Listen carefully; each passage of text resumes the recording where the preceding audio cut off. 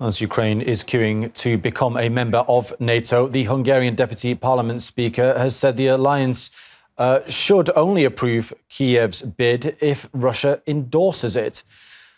Well, let's cross live now to the Hungarian Deputy Parliament Speaker, Dora Duro. Pleasure to have you on RT today, Dora Duro. Thanks very much for joining us.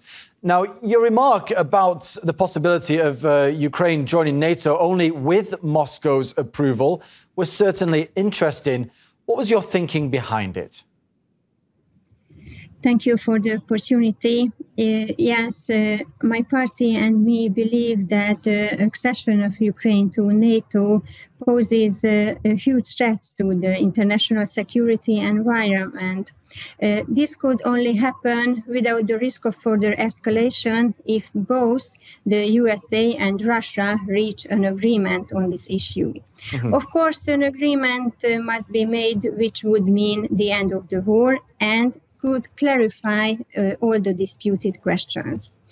We should make it clear that the most important issue is to regain peace, which should have priority. But Ukraine's officials are talking about such absurdities as the elimination of Russia. This is going not going to uh, happen. So we have to take uh, reality into account. Russia is a huge empire on the borders of the European Union and NATO, and it will remain after the war as well. Mm-hmm. So, so, what do you think the chances are of Moscow ever giving the green light to Ukraine's NATO membership? They would seem extremely small. Of course, this scenario seems unlikely now, uh, as both sides uh, believe that they can win this war on the battlefield. Uh, Ukraine's total defeat has not happened so far only because of uh, the uh, Western military supplies. So we cannot assess Ukraine as an independent uh, uh actor, but uh, a belligerent participant of uh, proxy war between the USA and Russia.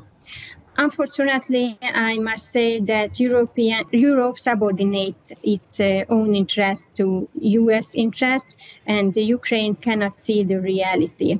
Mm-hmm. So the agreement is a long way off, and the US policy uh, is not helping to bring us uh, any closer. So, just staying with the topic of NATO, how do you assess the chances of Ukraine ever actually becoming a member of the alliance? We consider the possibility of Ukraine joining NATO to be out of the question. It is absolutely certain that my party and uh, uh, that my party, when it comes to vote, uh, will reject this initiative. Mm. furthermore, uh, as long as Ukraine's borders are disputed and an armed conflict is ongoing, NATO's own provisions rule out the uh, joining of Ukraine to the NATO.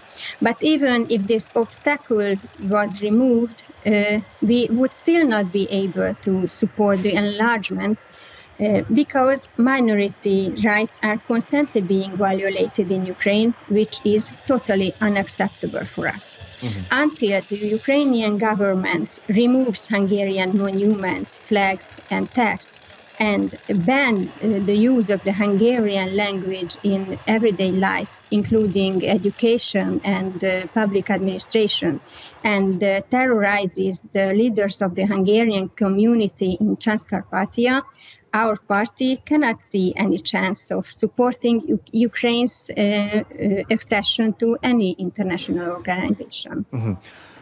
In theory, uh, do you think that NATO membership would make Ukraine safer or raise the risk of a further serious conflict? Well, the risk of the war, war spreading is the greatest threat facing Europe today.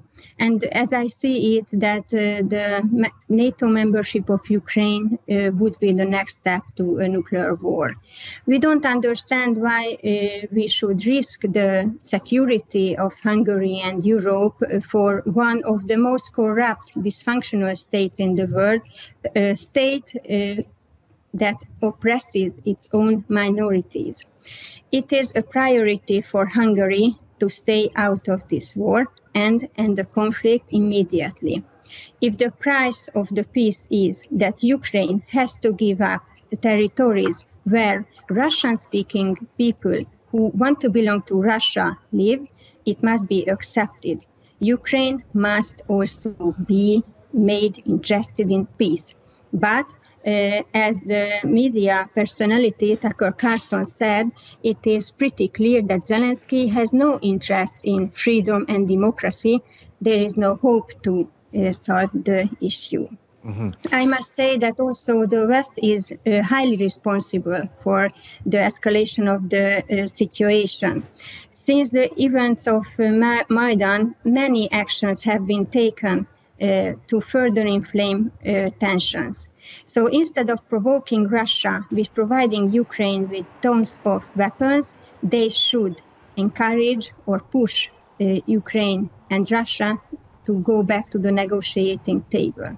And several high profile uh, international uh, public figures, such as uh, Henry Kissinger, Jürgen Habermas, or John J. Mearsheimer, have warned for the need of a more measured stance on the conflict with regard to international stability and own uh, national interests. Mm-hmm. Now, now you've touched on this already in your previous answer. Now, Budapest has raised concerns about Ukraine's treatment of ethnic Hungarians and has said that the situation must improve for Kiev to join the EU and, and NATO, you said. Now, do you think Kiev has addressed Hungary's concerns? Kiev uh, does not seem in, uh, indifferent only to Budapest concerns, but the Ukrainian leadership is reluctant to guarantee even the most basic uh, uh minority rights to Hungarians, Romanians, Russians, and other minorities in Ukraine, and is even trying to restrict their existing rights, especially in uh, the area of uh, language use. Kiev's anti minority measures have clearly contributed to provoking the war. They feel the support of the USA, and for them, it's not important uh, what the uh, real situation of the Hungarian minority is. Uh, and unfortunately, the double standards of the US and the EU uh, are clear, and this makes uh, their policy uh, discredited. Mm-hmm. A Hungarian human rights watchdog NGO called National Legal Defense Service uh, have observed and documented the violations of Hungarians' rights living in subcarpat- subcarpathian area in many uh, cases. Uh, their 50 page long report uh, came to the conclusion of Ukraine severely violating the rights of indigenous Hungarians living in Subcarpathia, both in regard their ethnic minority rights and their personal and communal rights. Now, finally, I just want to get your thoughts on one last thing, Dora, if I may. Uh, Jens Stoltenberg said in a statement that all members of the NATO alliance must accept that Ukraine's future is within the military bloc. Now, where does that leave member states who have their own different opinions to that? The NATO is a military and political alliance with consensus making, decision making. So, if there is a really strong pressure from the leaders of the alliance, the member states has their own uh, uh, opinion and they ha- have to give their approval. In the whole conflict, uh, the subordination of European interests to US interests uh, is not only manifested in NATO but also in the EU. Unfortunately, Europe is now losing Russia as uh, one of its most important export markets and uh, one of its most reliable suppliers of uh, uh cheap energy and raw materials, without which its competitiveness in the world market will be severely damaged. Mm-hmm. this certainly cannot be Europe's interest. So, a, a strategic rethink is needed uh, and an autonomous European position that does not subordinate itself to US interests So the primary interest of uh, Europe is peace, bringing the warring parties to the negotiating table and reaching an agreement. Mm-hmm. Well, Dora Duro, Hungarian Deputy Parliament Speaker, thanks very much for finding the time to speak to us today on RT and for sharing your thoughts with us on the situation in Ukraine. Thank you. Thank you for the opportunity.